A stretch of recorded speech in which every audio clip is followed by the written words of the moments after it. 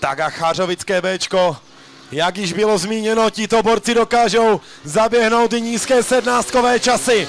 Tak uvidíme. Útok zatím nevypadá špatně. Proudaři nemají zapojeno. Bohužel, jak se říká,